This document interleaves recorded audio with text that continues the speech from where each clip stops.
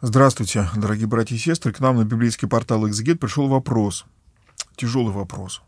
В юности бросил двоих своих детей. Сейчас хочу наладить отношения. Надо ли это делать? Надо попробовать и постараться. Это тяжкий грех. В нем надо сначала, прежде всего, пойти и принести покаяние. Потом надо попытаться появиться. Если они вас пустят, то э, вы можете войти в их жизнь в ту степень, в которую они пустят. Они вас э, уже никогда не смогут воспринимать как полностью настоящего отца, к сожалению. Вы можете стать им старшим другом. Вы можете что-то попытаться додать им из того, что вы, э, чего вы их лишили когда-то в детстве. Но э, претензии на то, что они будут вас почитать как настоящего отца, от вас они слышать не должны. Бывает, что ребенок не может видеть отца. Он рос а, в состоянии преданного человека. Как а, один мне уже взрослый давно мужчина, вот так вот брошенный в детстве отцом, сказал, что я живу с вот такой дырой в сердце. Вот эту дыру пробили вы.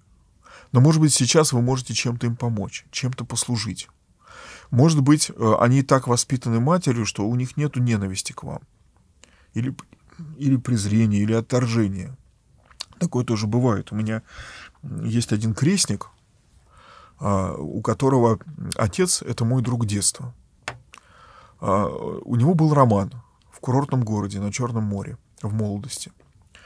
А, роман кончился тем, что э, женщина молодая, с которой вот у него была связь, она э, поменяла телефон и оборвала все связи. Прошло 20 э, лет, и вдруг появляется его сын. А, друг мой был в ужасе, он говорит, я не знал, что у меня есть ребенок. Я пытался ее найти, я не смог. Ну, видимо, он не очень хотел, потому что он там потом женился на другой. А, но удивительно было то, что этот ребенок появился без единой претензии. Причем даже не надо было делать генетическую экспертизу, он был настолько похож на отца и остается.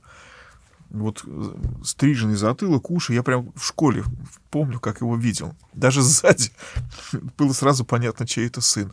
Он пришел с благодарностью. Он сказал, пап, я никого не виню.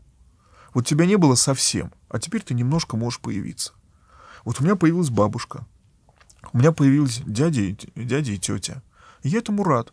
Раз в неделю, значит, раз в неделю. Он приехал в Москву, а, э, поступил в институт, жил в общежитии, сейчас работает.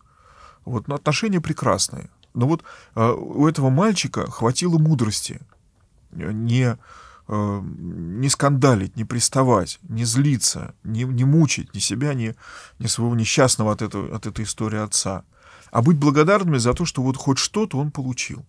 Если вам удастся вот в таком же а, как бы, как бы ключе построить отношения с вашими детьми.